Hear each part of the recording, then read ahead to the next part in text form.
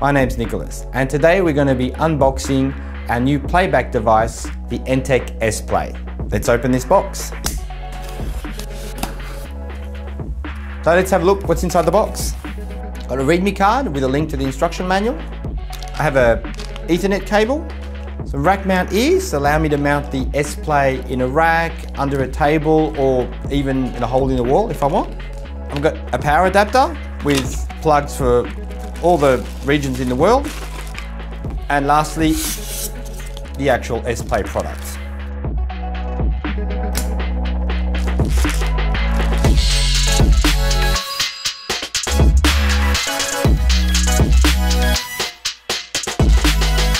So, on this S-Play, what do we find? Let me explain you its features. We have our USB port that can be used for show backup, so exporting files out of the S-Play into another unit or importing files into it. We have an SD card that's used to store the shows. We have a screen that gives you status information and IP address of the unit. And we have buttons here to navigate the menu. On the back of the S-Play, we have our DC input with a restraining clip so we can actually attach the DC cable to the back of the unit, stopping it from falling out.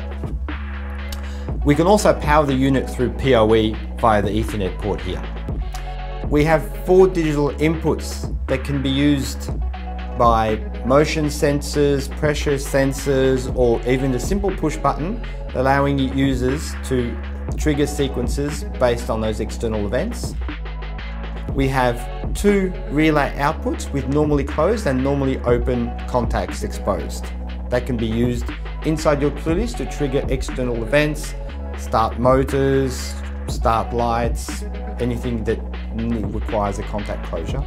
We have an Ethernet port, allows you to communicate with the web page inside the unit, but also stream multiple protocols like ArtNet, streaming ACN, we have our two full DMX ports, fully configurable in refresh rate and number of channels.